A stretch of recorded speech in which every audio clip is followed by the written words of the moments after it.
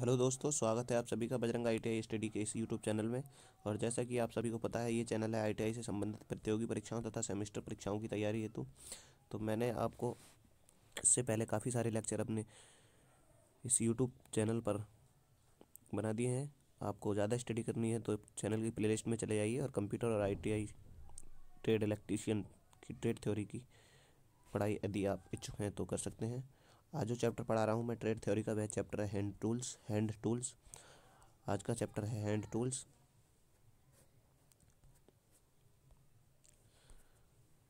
आज का चैप्टर है हैंड टूल्स और यदि, चलिए हम ज़्यादा देर न करते हुए चलते हैं क्वेश्चंस की ओर। चलिए हम ज़्यादा देर न करते हुए हम चलते हैं प्रथम क्वेश्चन की ओर और पहला प्रश्न है आपकी स्क्रीन पर ये कि सुपर इनेबल तारों को सुपर इनेबल तारों का गेज किसके द्वारा मापा जाता है? जिसके द्वारा मापा जाता है, भय उपयंत का चित्र यहाँ पर बनाकर दिखाया गया है आपको। ये कौन सा चित्र है? ये बताइएगा। तो ये स्क्रू गेज है, तार गेज है, हस्त ड्रिल गेज है या स्पार्ट ड्रिल गेज है? तो इस प्रश्न का जो आंसर सही होगा वह होगा वह होगा।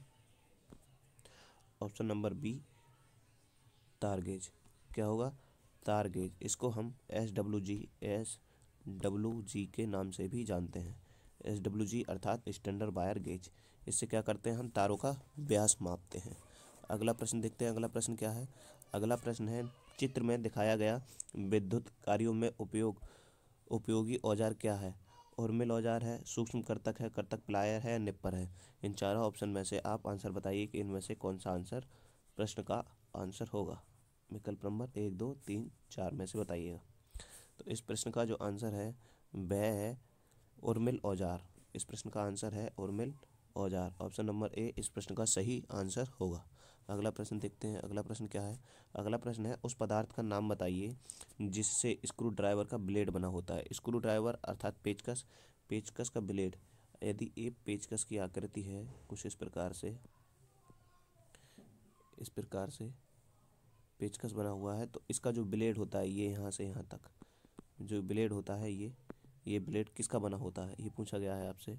और बताइएगा कि पेचकस का ब्लेड किसका बना होता है? ये बताना है आपको पेचकस का ब्लेड बना होता है किस चीज़ का? तो वह बना होता है टेप्ड स्टेनलेस स्टील का, कठोर एवं टेप्ड माइल्ड स्टील का, कठोर एवं टेप्ड सॉफ्ट स्टील का या कठोर एंड टेप्ड कार्बन स्टील का। तो यह बना होता है कठोर एवं टेप्ड कार्बन स्टील का। ऑप्शन नंबर डी, इस प्रश्न का सही आंसर होगा। अगला प्रश्न देखते हैं। अगला प्रश्न क्या है? अगला प्रश्न है, लकड़ी के स्क्रू का पिच है। लकड़ी के स्क्रू अर्थात पेच का जो पिच होता है, वह क्या होता है? ट्रिप्स है, थ्रेडेड पोजीशन के अंत तक की दूरी समीपवर्ती ठेड के बीच की दूरी, अनथ्रेडेड भाग से हेड तक के भाग तक की दूरी टिप से हेड तक के भाग की दूरी। तो ये होती है समीपवर्ती थ्रेडों के बीच की दूरी को हम स्क्रू पिच के नाम से जानते हैं। अगला प्रश्न देखते हैं। अगला प्रश्न क्या है? अगला प्रश्न है, की बेज काटने के लिए किस छेनी का प्रयोग करते हैं? की बेज काटने के लिए किस छेनी का प्रयोग करते हैं? जिस छेनी का प्रयोग करते हैं, उसका चित्र यहाँ पर आपको दिखाया गया है। जिस छेनी का प्रयोग आप करते हैं, उस छेनी का चित्र आपको यहाँ पर प्रदर्शित भी किया गया है। तो इनमें से आंसर कौन सा सही होगा, ये बताइएगा। गोल छेनी, डायमंड छेनी, फ्लैट छेनी या कैप छेनी? तो ये की बेज काटने के लिए हम जिस छेनी का प्रयोग करते हैं, वह छेनी होती है कैप छेनी कौन सी छैनी कैप छेनी ऑप्शन नंबर डी, इस प्रश्न का सही आंसर होगा। अगला प्रश्न देखते हैं। अगला प्रश्न है, हथौड़े का साइज़ किसके अनुसार मापा जाता है? हथौड़ा अर्थात हैमर का साइज़ हम किसके अनुसार मापते हैं? पिन की लंबाई के अनुसार फेस के ब्यास के अनुसार, हथौड़े के वज़न के अनुसार, हथौड़े की ऊंचाई के अनुसार। तो सभी जानते हैं, ये बहुत सरल क्वेश्चन है कि हथौड़े का साइज़ हथौड़े के वज़न के अनुसार मापा जाता है। अगला प्रश्न देखते हैं। अगला प्रश्न क्या है? पाइप के अंदर की चूड़ी काटने के लिए किस औज़ार का प्रयोग किया जाता है? पाइप के अंदर की चूड़ी काटने के लिए हम किस औज़ार का प्रयोग करते हैं? टैप औज़ार, ट्यूबनिक औज़ार, ट्यूबिक करतक, पाइप करतक या डाई। तो पाइप के अंदर की जो चूड़ी काटते हैं, वह हम काटते हैं किससे? टैप से या डाई से? तो पाइप के अंदर की चूड़ियाँ हम काटते हैं डाई से। अगला प्रश्न देखते हैं, अगला प्रश्न क्या है? इंसुलेटेड कॉम्बिनेशन प्लायर के लिए सावधानी रखेंगे कि उसे हथौड़े के रूप में प्रयोग नहीं करें, ऊँचे स्थान से नहीं फेंकें समय समय पर तेल लगाएँ। उपरोक्त सभी इंसुलेटेड प्लायर को हम कभी भी हथौड़े के रूप में प्रयोग नहीं करना चाहिए तो ये भी सही होगा और ऊँचे स्थान से भी नहीं फेंकना चाहिए तो ये भी सही होगा।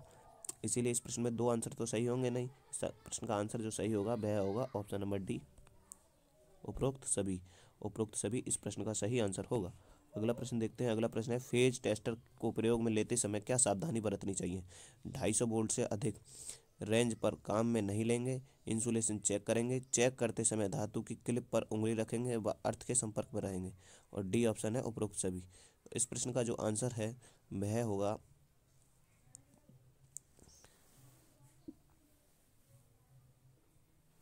उपरोक्त सभी। कौन सा आंसर सही होगा? उपरोक्त सभी।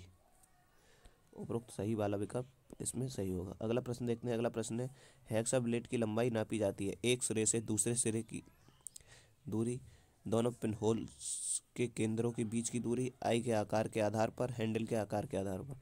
इस प्रश्न का आंसर होगा ऑप्शन नंबर बी, दोनों पिन होल के बीच की दूरी। चलिए मैं इसका चित्र भी आपको दर्शा देता हूँ।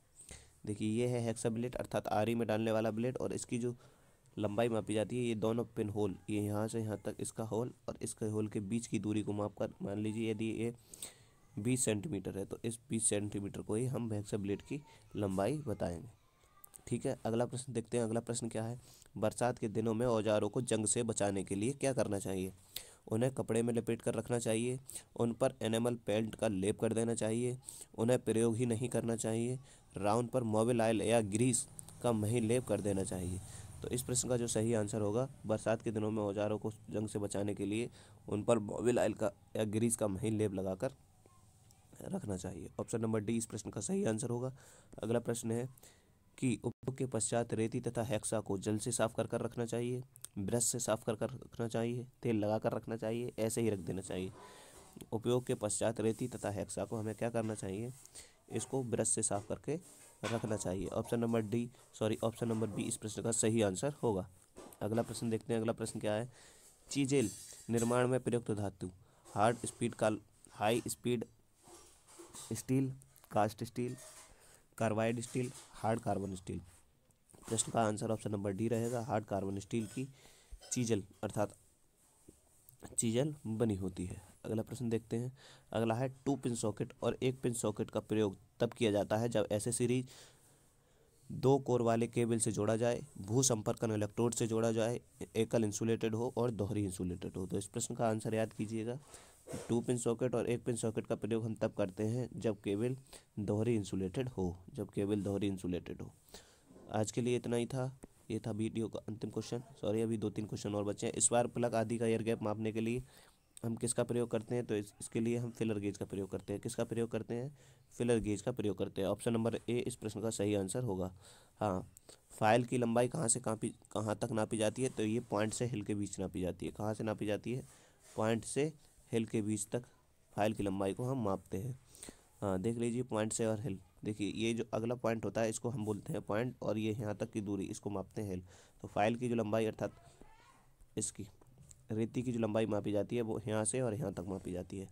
यहाँ से